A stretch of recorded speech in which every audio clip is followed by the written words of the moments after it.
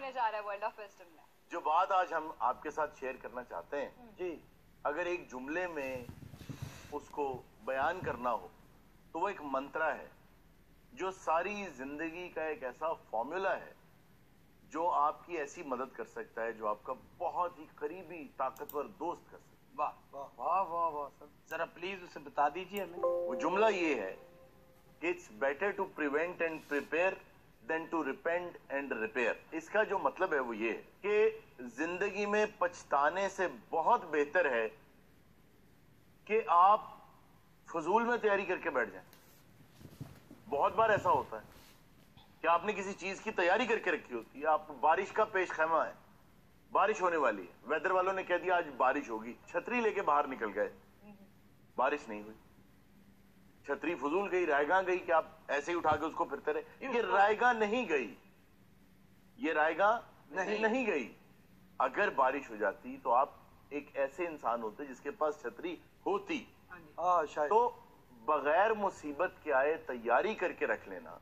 मुसीबत के आने पर पछतावे से बेहतर पछतावा एक ऐसी चीज़ है जो दो सूरतों में हो सकता है।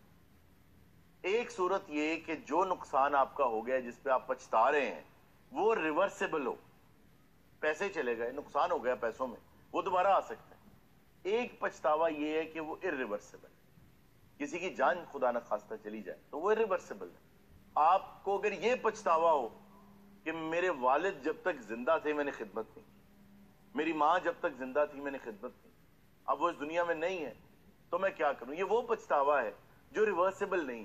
फिर हमें कवर से टकरा मारता है जा जी हाँ क्योंकि माफ़ी हो जाती है कई चीज़ों की तलाफी नहीं होती। तो हारून साहब माफ़ी और तलाफी में क्या फ़र्क है? माफ़ी और तलाफी में फ़र्क ये है अगर आपने किसी का दिल दुखा दिया बुरा भला कह दिया बाद में माफ़ी मांग ली माफ़ी तो हो गई इसकी तलाफी नहीं हो सकती उसका दिल दुख चुका है।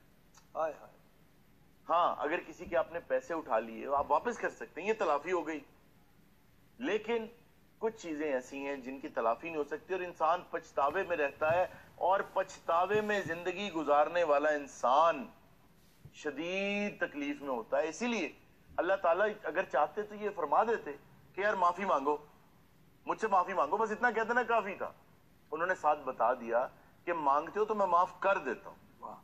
अब अपने दिल पे ये बोझ ना रखो कि मैंने माफ़ नहीं किया, माफ़ कर देता हूँ। तो हमारा मतम नज़र ये है कि अगर आप तैयारी में अपने आने वाले कल के लिए पसीना बहा लेंगे। तो कल खून नहीं